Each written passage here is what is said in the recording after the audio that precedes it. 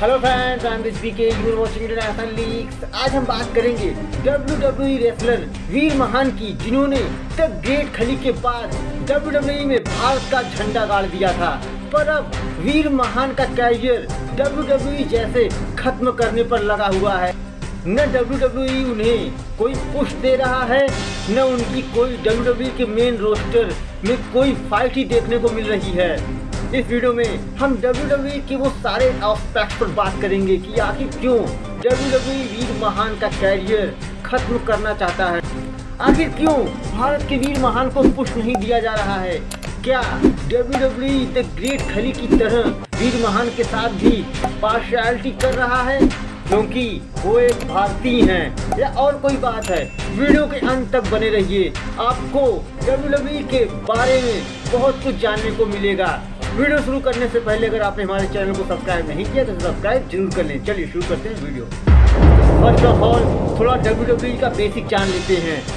World wrestling entertainment WWE का headquarters Stamford Connecticut America में है। पहले इसे टाइटन स्पोर्ट फिर डब्ल्यू डब्ल्यू के नाम से जाना जाता था। अब डब्ल्यू डब्ल्यू हो गया है।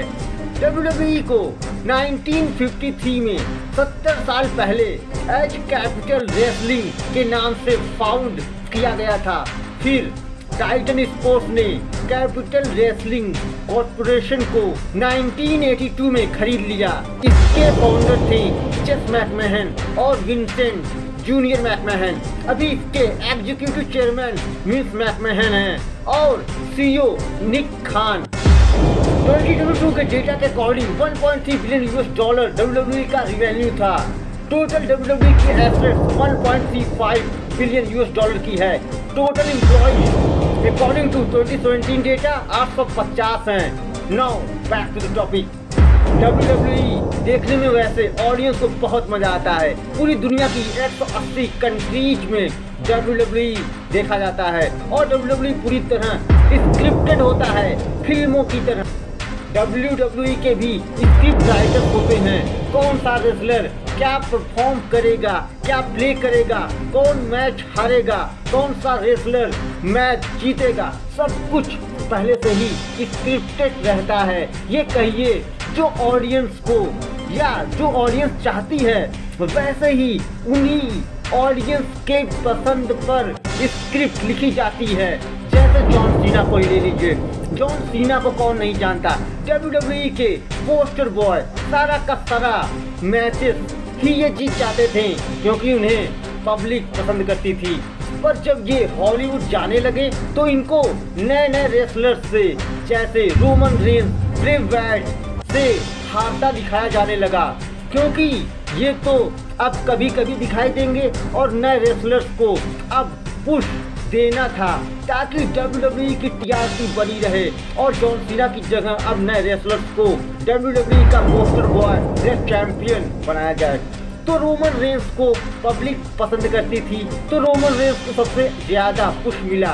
देखिए डब्ल्यूडब्ल्यूई में भी स्क्रिप्ट के अकॉर्डिंग विलेन और हीरो दिखाए जाते हैं फ़िल्मों की तरह। अगर कोई रेसलर विलेन का कैरेक्टर प्ले कर रहा है तो उसे हील कहा जाएगा। और अगर कोई हीरो का कैरेक्टर प्ले कर रहा है तो उसे फेस कहा जाता है। जैसे जॉन सीना हमेशा फेस ही रहे, पर अभी रोमन रेंस हील टर्न हुए हैं। WWE इन्हें फिर से फ्यूचर में फेस बना देगा। लेकिन जब बात आती है इंडियन रेसलर्स की अफ्रीकन रेसलर्स की एशियन रेसलर्स की तो WWE पार्शियलिटी करने लगता है। वीर महान के साथ अभी ऐसा ही किया जा रहा है। शुरुआत में जब वीर महान ने WWE की main roster Monday night show में एंट्री की थी तो WWE ने वीर महान को अच्छा खासा पुश दिया था।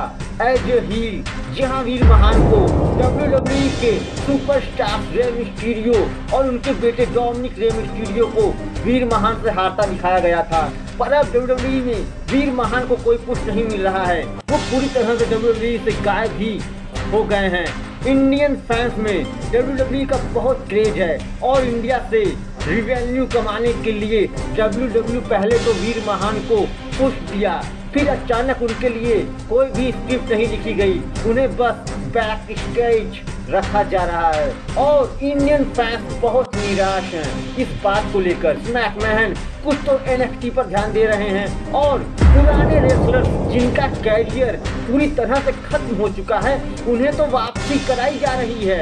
एग्ज़ाम्पल के लिए एच पर न्यू रेसलर्स जो एशिया के हैं, या खास तौर से इंडियंस हैं, उनकी तरफ़ कोई ध्यान नहीं दिया जा रहा है। ये डब्ल्यू की पर्सनैलिटी नहीं तो आप क्या कहेंगे? जो यूनाइटेड स्टेट्स ऑफ़ अमेरिका के रिटायर्ड रेसलर्स हैं, उनके लिए स्पेशल स्क्रिप्ट लिखकर उन्हें बड़े बड़े मैचेस जितवाए जा रहे हैं। पर जब एशियन इंडियन रेसलर्स की बात आती है तो डब्ल्यू पक्षपाती रवैया अपनाता आ रहा है। ऐसा ही डब्ल्यू डब्ल्यू ने द ग्रेट खली के साथ पहले किया था। द ग्रेट खली को कॉमेडियन बना दिया प्ले बॉय बना दिया। एक जैंट को फ्रॉक पहना दी गई, खली का मज़ाक बना दिया गया। फिर द ग्रेट खली ने खुद से डब्ल्यू को बाय बाय कर दिया। शुरुआत में वीर महान को ऐसा दिखाया जा रहा था कि वीर महान WWE सुपरस्टार या डब्ल्यू चैंपियन हैवीवेट चैंपियन बनेंगे। पर अब चैंपियन बनना तो दूर की बात है। उन्हें रॉ से ही गायब कर दिया गया। कुछ इंडियन फैंस तो वीर महान को अगला द ग्रेट खली कहने लगे हैं। और हो सकता है डब्ल्यू उनके साथ भी ग्रेट खली जैसा व्यवहार करे।